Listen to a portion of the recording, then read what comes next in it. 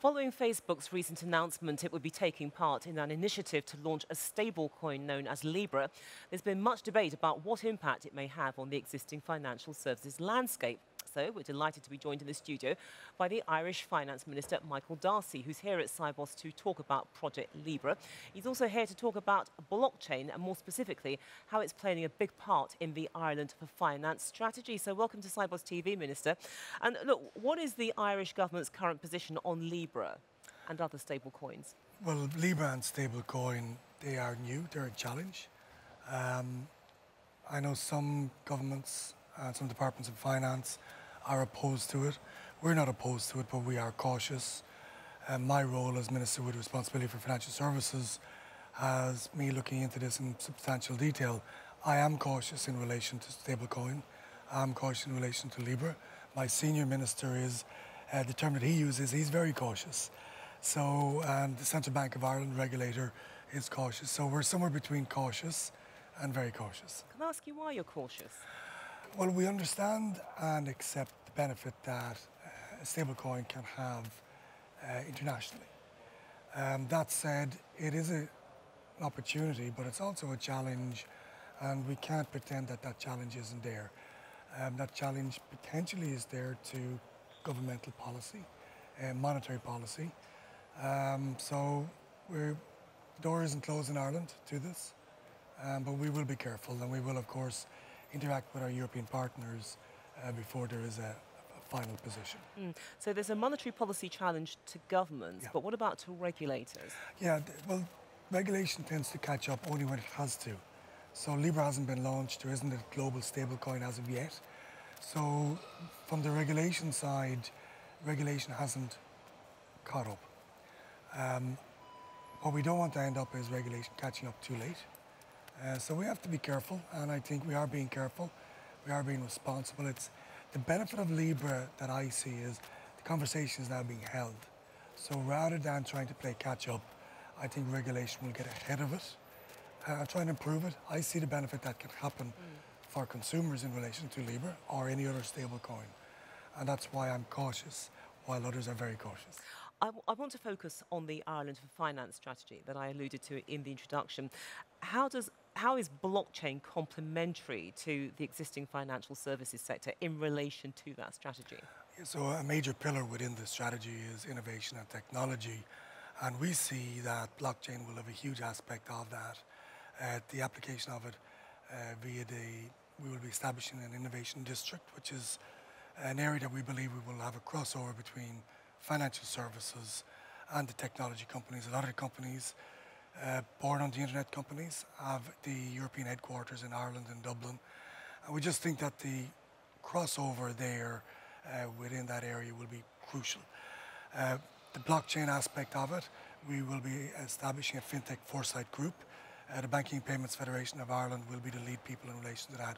So it's how we take uh, the FinTech aspect of new finance, uh, the, you know, they will create challenges, but we're satisfied we'll be able to meet those challenges also. Okay, and, and that leads quite nicely into my next point. Those are the challenges, but also these are the opportunities. This is a manifestation of those opportunities. Yeah, absolutely. And, and the reason I'm, I describe myself as cautious in relation to uh, Libra and to other stablecoins is because I see the benefit that they can have for the consumer. Um, but we have to be careful as well. My senior minister is very cautious. Um, so we have to try and balance that caution. We have to have, understand and accept the challenge, um, but the opportunity is there as well. We have a lot of businesses. We have a hugely vibrant fintech uh, sector in Ireland, and we believe it'll be stronger and better. Mm, I mean, I get the caution, but how, how is Libra a threat to the way that Irish consumers operate and indeed businesses in the way that they transact? Well, I guess Libra is untested. The word that stands out for me most of all in relation to Libra is that the theory of Libra is fine. It, lo it looks to work well in theory, but in practice we have to see how it will operate. Uh, there will be challenges. There will be challenges, perhaps even unforeseen challenges, that we aren't prepared for just yet. Regulation has to catch up. So Libra and other global stablecoins right now aren't in the system. So we have to be careful in that manner. We will be careful. We will operate with our European partners in relation to this. The regulator in Ireland, of course, is an agent of the European Central Bank, and Europe will take a position.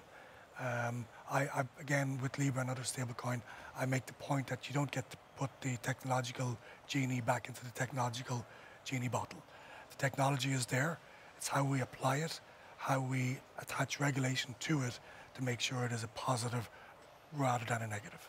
Let's take a look at the, the wider aspect here. I mean, what is it that you're hoping to achieve from the Ireland for Finance strategy? Because, yes, you've alluded to this relationship between government and educational institutions, effectively turning, the, turning Ireland into a hub, if you like, where everyone can gather. But beyond that, yeah. what's, the, what's the goal? The goal is to make sure that Ireland holds on to what we have and advances even further and moves Ireland up the value chain. You know, only two years ago, it would have been inconceivable to think that we would have rating agencies based in Ireland. Uh, we, we are in that space now. Uh, we have a hugely vibrant sector um, with very strong areas within this, each sector. So it's banking payments, insurance, reinsurance, aircraft leasing, fintech, sustainable green finance, and of course the biggest sector within financial services in Ireland is funds. So we want to hold those, we want to add to them, and we want to move ourselves up the value chain.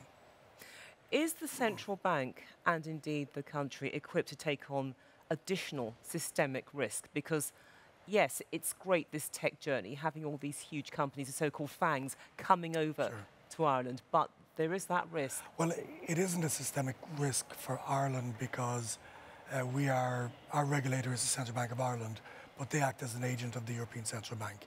So everything that will be happening will be happening on the basis of agreement with our European partners. So I, I don't see that it's a systemic risk for Ireland as such. Um, that's why I'm, I'm, I'm cautious in relation to uh, these new products. Uh, we've seen in the past that potentially new products, if they become very complicated, get packaged, sold on, the damage that they can do. So we are cautious. As I said, my senior minister is very cautious, so we're somewhere in between. Okay, but assuming that all goes well with the Ireland for Finance strategy, it will generate jobs. Sure. So how many jobs do you think it's likely to, to create? Yeah, the strategy is, the, uh, our calculation is there'll be an additional 5,000 net new jobs. The previous strategy in the same period was 10,000, but we can't ignore how technology gets applied. We are satisfied with the application of technology, that some jobs will fall off the financial services ladder. Uh, but we're very clear that we don't want to lose those people. We want those people to retool, to reskill, so they've built up knowledge, experience, skill sets over many years, and we want to redeploy those people back into the sector. So while the uh, number of jobs that we're looking at may not be as high as the previous strategy, we still feel that uh, 5,000 new net jobs is very achievable. Mm, and that's just the beginning? Just the beginning. Michael D'Arcy, Irish Finance Minister, we have to leave it there, but thank you so much for joining us on Sibos Television. It's been my pleasure. Thank you.